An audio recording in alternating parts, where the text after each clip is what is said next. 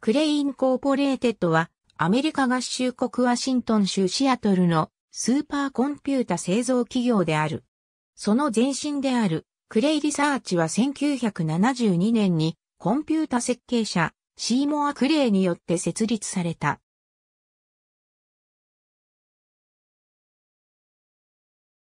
1989年、シーモア・クレイは自身の会社クレイコンピュータを別に設立したが、こちらの会社は1995年に倒産している。1996年、クレイリサーチは SGI に買収された。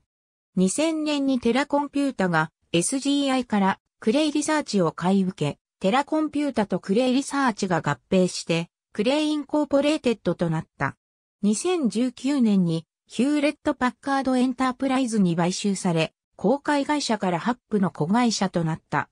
ちなみに、かつての親会社であった SGI も2016年にハップに買収されている。シーモア・クレイは1950年にコンピュータ業界で働き始めた。まずエラで、エラ1103の開発に携わった。エラはユニバックの一部となり、徐々に縮小される。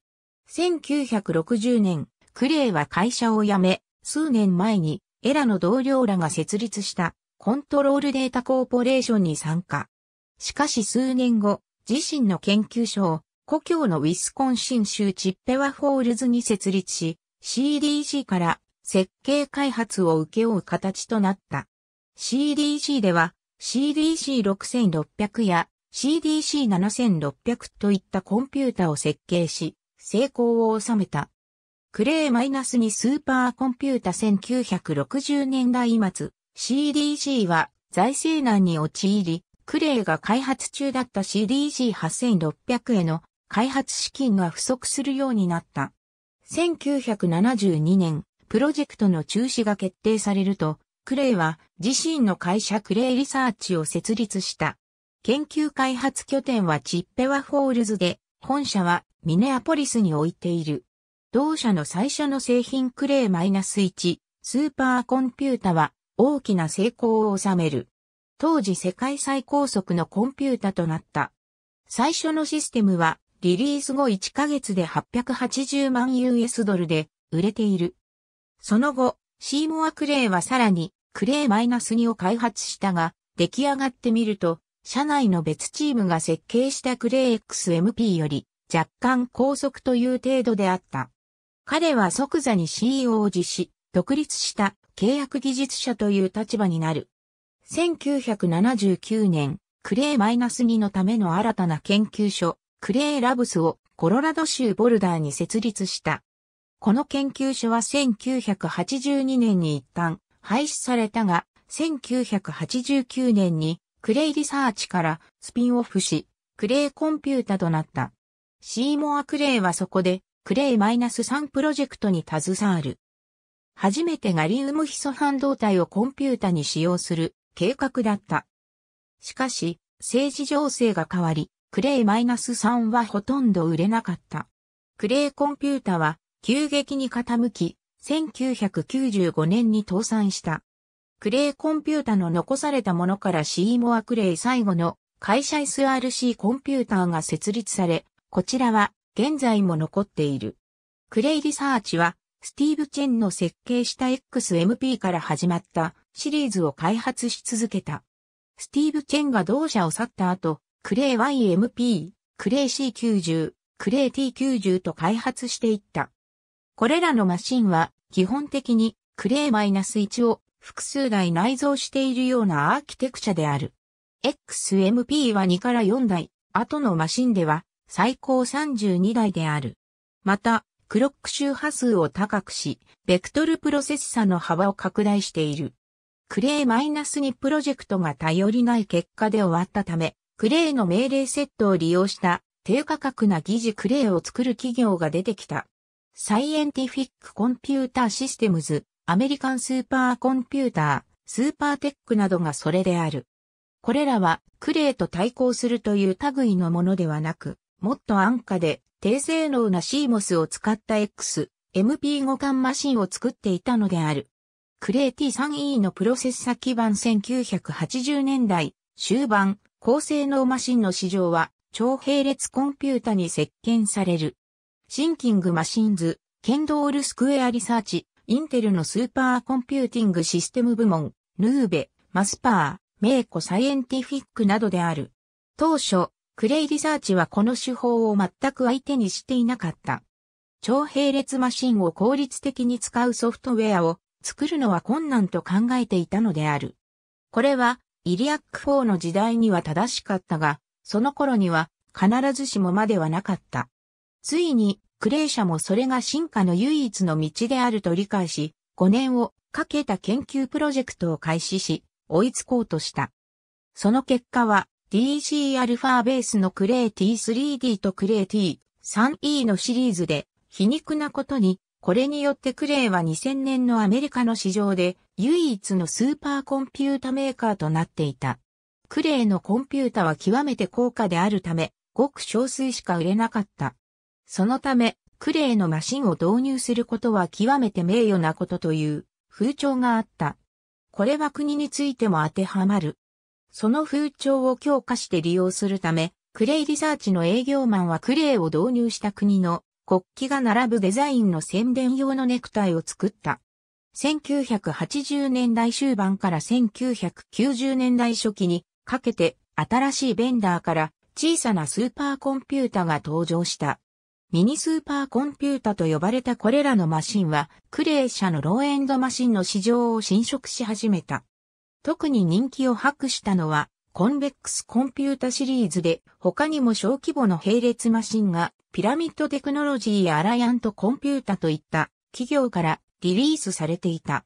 そのような企業の一つとしてスーパーテックがある。スーパーテックの S-1 は空冷の CMOS 実装の X、MP5 間プロセッサを使用していた。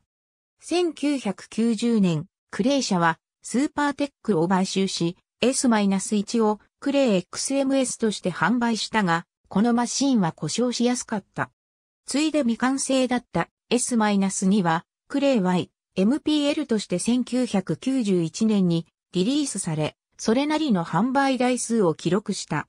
これらのマシンは小規模な企業、特に石油探査を行っている会社に売れた。このシリーズは後に、クレイ J90、そして1998年のクレイ SV-1 へとつながっていく。クレイ社はもう一つのミニスーパーコンピュータ会社フローティングポイントシステムズの資産を買収した。この会社はスパルクベースのマシンモデル500でファイルサーバ市場に参入していた。このマシンはサンマイクロシステムズのソラリスを改造した OS が動作しており、最大64プロセッサの SMP 構成である。クレイはこれをクレイ S MP スーパーサーバと名付けて販売した。後に高速な SuperSPARC を使ったクレイシー S6400 ウルトラソパークを使ったクレイシー S64000 をリリースしている。設計はこの市場向けとしては最高レベルだったが、クレイはこの方面では成功したとは言い難い。クレイのこれまでのニッチな市場とは勝手が違いすぎたためと思われる。クレイリサーチは1996年2月、シリコングラフィックスに吸収合併された。当時、市場も技術も違う2社の合併に、業界は批判的だった。同年、創業者のシーモア・クレイが交通事故で亡くなっている。SGEI は即座にスーパーサーバーシリーズを3に売却した。3はその技術を使って大成功を収めることになる E1 万スターファイヤーサーバーを開発した。SGI はいくつかのクレイの技術を使い、グラフィックワークステーションからスーパーコンピュータへと移行を開始した。ここで鍵となったのは、クレイの開発したヒッピデータバスト T3 シリーズでのノード間接続の技術である。SGI の長期戦略では、同社のハイエンドサーバーとクレイの製品を2段階で統合する計画だった。コード名 SN1 は、クレイ T3E と SGI オリジン2000システムの置き換えを狙ったもので、後に SGI オリジン3000アーキテクチャとしてリリースされた。しかし、オリジン3000が発表されたのは、クレイリサーチが分離、売却された後のことである。戦略の第2段階であるコード名 SN には、最終的に SGI Altix 3000アーキテクチャとしてリリースされた。SGI の下でクレイの新たなシリーズ SV1 が1998年にリリースされた。クラスター型 SMP ベクトルプロセッサーアーキテクチャで J90 の後継である。1999年8月、SGI はクレイリサーチ部門を分離し、売却準備に入った。2000年3月2日、クレイ部門はテラコンピュータに売却された。テラコンピュータは売買完了後の2000年4月4日、クレイインコーポレーテッドに名称を変えた。テラコンピュータとの合併後、テラ MTA システムをクレイ MTA マイナス2と改称。これは商業的には失敗し、二つの顧客に出荷しただけだった。また、日本電気製 SX-6 の北米での独占販売権を得て、クレイ SX-6 として販売した。2002年、ベクトルと MPP を統合したアーキテクチャの新機種、クレイ X1 を発表。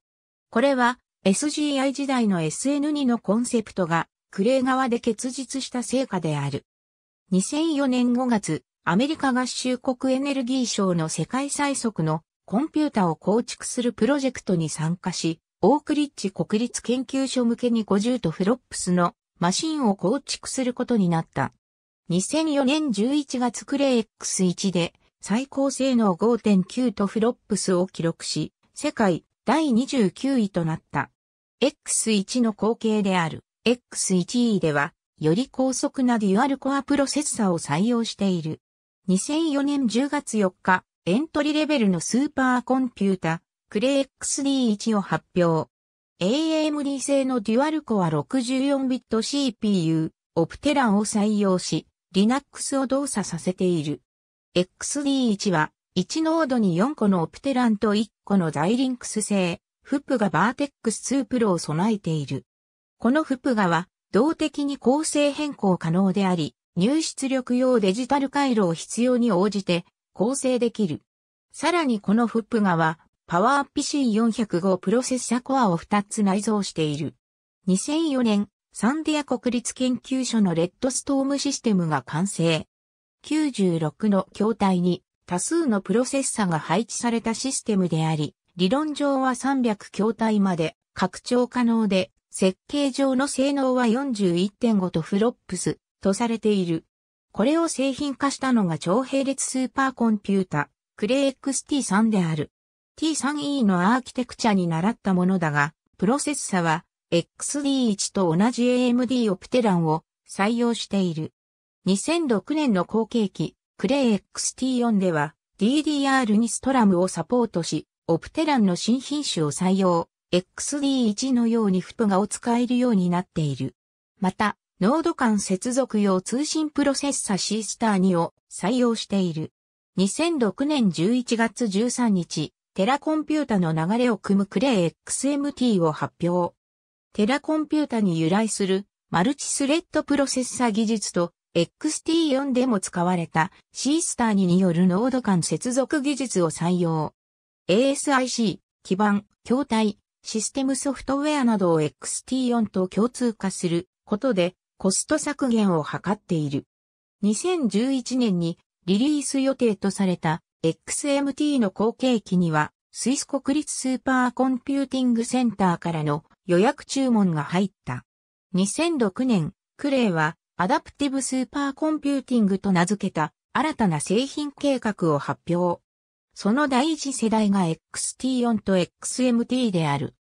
2007年11月に発表された第二世代が XT5H で、 Opteron、ベクタープロセッサ、マルチスレッドプロセッサ、 FPGA を使って一つのシステムを構成する。2008年4月、インテルとスーパーコンピュータの共同開発を行うことを発表。同年9月、その成果であるクレイ CX1 が完成した。